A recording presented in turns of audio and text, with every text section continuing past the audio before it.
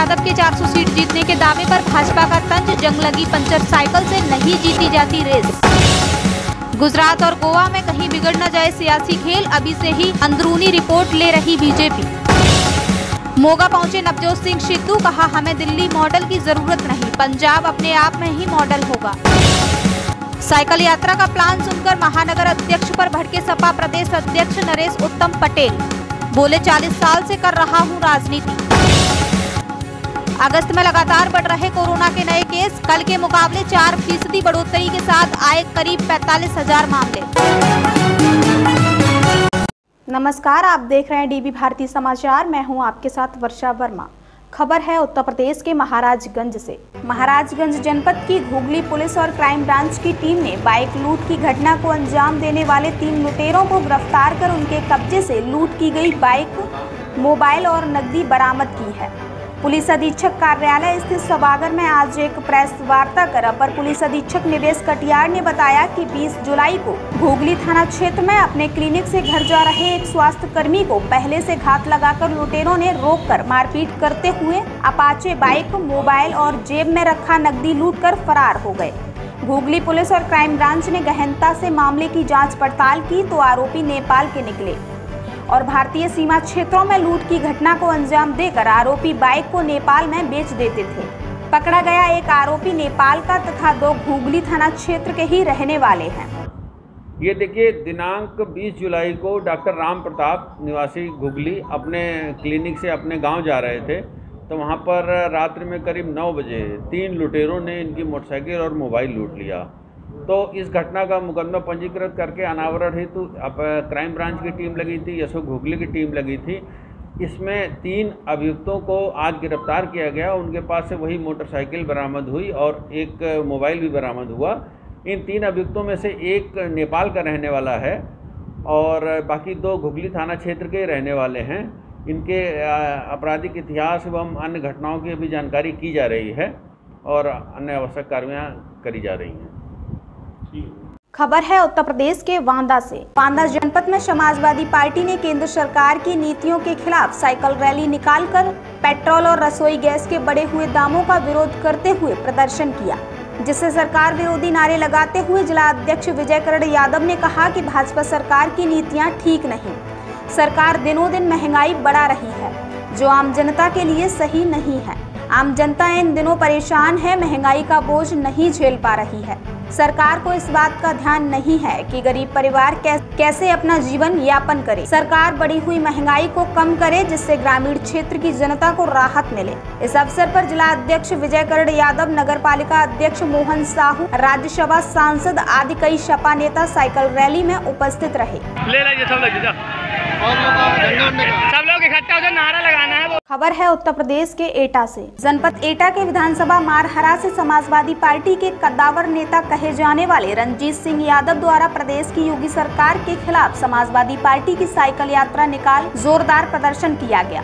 राष्ट्रीय अध्यक्ष के आवाहन पर हज़ारों की संख्या में नगर एवं ग्रामीण क्षेत्रों में सपा कार्यकर्ताओं ने साइकिल जुलूस निकाला। इस साइकिल रैली में मुख्य रूप से रंजीत यादव, जिला उपाध्यक्ष समेत हज़ारों कार्यकर्ता मौजूद रहे।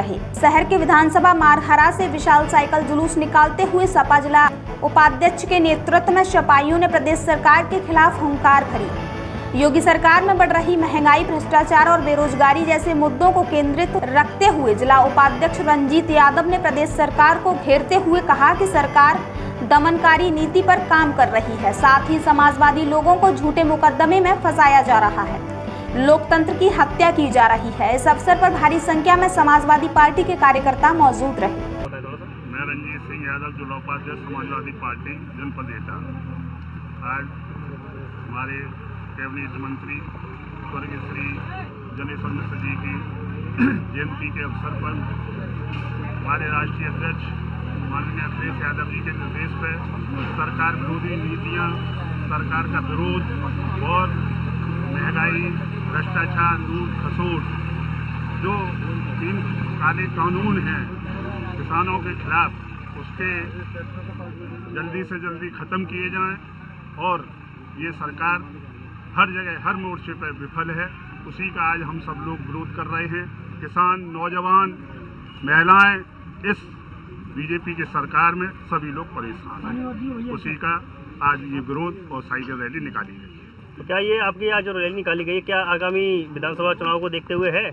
जी क्या कहेंगे? बिल्कुल 2022 में एटा जनपद की हम चारों विधानसभाएँ जीतेंगे समाजवादी पार्टी बहुत अच्छे मतों से जीतेगी तो खबर है उत्तर प्रदेश के सिद्धार्थ नगर से जहाँ प्रधानमंत्री गरीब कल्याण अन्न योजना के तहत जनपद की सभी 1130 उचित दर की दुकानों पर अन्न महोत्सव कार्यक्रम का आयोजन किया गया जिसके क्रम में विकास खंड जोगिया के ग्राम पंचायत मशीना में गरीब कल्याण अन्न योजना के अंतर्गत डुमरियागंज सांसद जगदम्बिका पाल की उपस्थिति में पात्र लाभार्थियों को बैगों में राशन वितरित किया गया। इस अवसर पर सूचना एवं जनसंपर्क विभाग उत्तर प्रदेश लखनऊ द्वारा उपलब्ध कराई गई। एलईडी के माध्यम से प्रधानमंत्री का लाइव प्रसारण दिखाया गया, जिससे गरीबों को किसी प्रकार की समस्या न हो।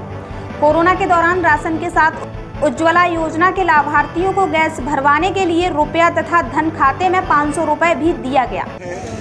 क्योंकि कोविड की दूसरी लहर के बाद फिर प्रदेश और देश के लोगों की, जहाँ एक तरफ़ से कोविड की वैक्सीन से जीवन बचाने का सवाल था, वहीं दूसरी तरफ़ आदरणीय प्रधानमंत्री मोदी जी और उत्तर प्रदेश के यशस्वी मुख्यमंत्री योगी जी ने ये सोचा कि अगर हम केवल वैक्सीन देंगे, लेकिन इस कोविड की चुनौतियों में लोगों को काम नहीं मिलेगा तो अगर उनको खाद्यान्न नहीं मिलेगा तो जहाँ बीमारी से तो हम रक्षा कर ले जाएँगे लेकिन भूख से मौत हो जाएगी इस पर उन्होंने फैसला किया कि हम देश के इक्यासी करोड़ पैंतीस लाख जो कार्ड धारक हैं, ऐसे उन इक्यासी करोड़ परिवारों को पाँच किलो प्रति यूनिट हम मुफ़्त दीपावली तक नवंबर तक देंगे। तो इससे साफ़ है कि आज दुनिया में सबसे बड़ा ये अभियान चल रहा है।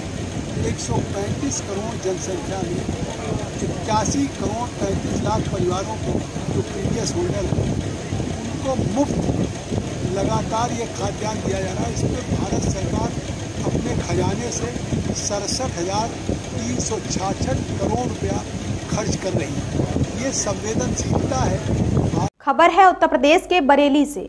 जनपद बरेली में स्वास्थ्य विभाग की बड़ी लापरवाही सामने आई है, जहाँ पर डिवाइन हॉस्पिटल राजेंद्र नगर बरेली ने अवैध वसूली के साथ साथ एक महिला की डिलीवरी के दौरान मौत होने से अस्पताल में हंगामा हो गया था। मामला जनपद बरेली के राजेंद्र नगर डिवाइन हॉस्पिटल का है, जहाँ पर महिला की डिलीवरी का ऑपरेशन हुआ था, जहाँ पर महिला ने एक पुत्री को जन्म दिया था। अस्पताल की लापरवाही के कारण महिला की हालत बिगड़ गई। आनंद फानन में अस्पताल कर्मियों ने महिला का तुरंत डिस्चार्ज कर गंगासील हॉस्पिटल के लिए भेज दिया था, जहाँ पर महिला की आज 48 घंटे बाद मौत हो गई। परिजनों ने डिवाइन हॉस्पिटल राजेंद्र नगर के सामने बैठकर हंगामा करना शुरू कर दिया। मौके पर पुलिस ने पहुंचकर सबको कब्जे में लेकर पोस्टमार्टम के लिए भेज दिया है। अब देखना ये होगा कि अस्पताल के खिलाफ कार्रवाई होती है या नहीं। तेज आवाज़ में। सर, हमारी वाइफ थी सर, हम तो सर चेकअप कराने आए थे। सर, मैं पड़ा उसमें काम कर रहा था, किसी ने बताया अस्पताल अच्छा है, दिखा दो। तो हमारा यानी कि हमने कहा अच्छा अस्पताल है तो अपने बच्चों को यानी कि दिखा देंगे सर। तो सर, हम वहाँ पहुँचे तो मैम बोली, ऐसा है, एक्सरा करा, वो अल्ट्रासाउंड करा के लेके आओ। अल्ट्रासाउंड सर यानी कि कराया तो मैडम ने तुरंत ही भर्ती कर दिया उसे। मगर सर यानी कि अल्ट्रासाउंड में सर डेट अगले महीने की थी। जो अगले महीने की थी सर। तो फिर सर इन्होंने अभी यानी कि तुरंत ही ऑपरेशन कर दिया। ऑपरेशन इन्होंने कर दिया वो सर यानी कि ऑपरेशन सही नहीं हुआ सर। किस चीज़ का ऑपरेशन करा था? सर डिलीवरी केस था डिलीवरी केस था जी सर। बच्चे का क्या हुआ फिर? बच्चा छोटी बच्ची है। हमारी बेटी हुई थी सर। अच्छा बेटी हुई ठीक ठाक है वो? जी सर। ऑपरेशन गलत गलत हुआ इससे हम्म, तुम्हारी वाइफ की मौत हो गई क्या? जी सर।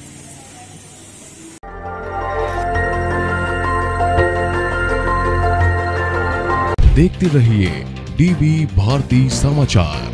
नज़र हर खबर पर।